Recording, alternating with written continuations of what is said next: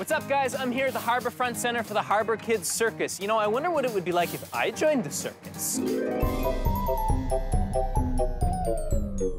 Uh, uh, anyway, uh, only one way to find out. Let's go!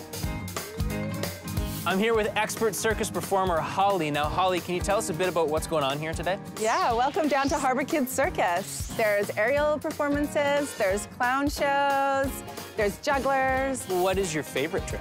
We have a new vocabulary move called the Wheel of Fortune, and that is definitely my new favorite move. Ooh, that sounds amazing. I'd love to see it. I'd love to show you.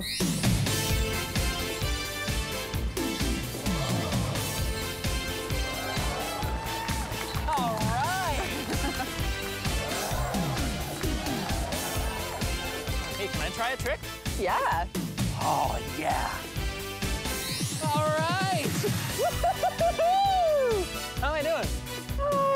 I'd about a two. No, maybe not my thing, but I'll hang in there. Um, can I come down now? Yes. We're hanging out here at the Harbor Kids Circus with Erin, who is a master at silks. Now, what exactly are silks? Silks are a strong type of fabric that allow aerial artists to climb, flip, drop, spin, all kinds of impressive things up in the air. Sweet. Now, I don't know if you knew this, but I'm actually a master of silks too, and I've got my own silk routine. I'd love if you would judge me on it. Here we go. Boom.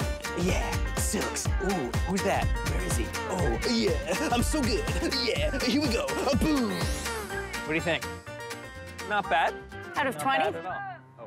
I'm hanging out here with the designers of the Fly Experience here at the Harbor Kids Circus. Now, Rebecca, what is the Fly Experience? So, if you're a kid, the fly experience is you get inside this aerial pod, you lie on your stomach, and then you're gonna get to watch some really cool video installations of what it's like to be blasting off into space. That sounds incredible. Now, I have been trying all day to figure out what my circus trick would be if I joined the circus. So, do you guys have any ideas? Juggling. Hmm. Strong man? strong man.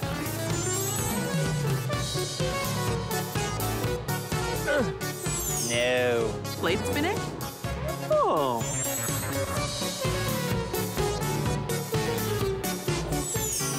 Uh, why don't I just try the fly experience? Sure. Should absolutely do that.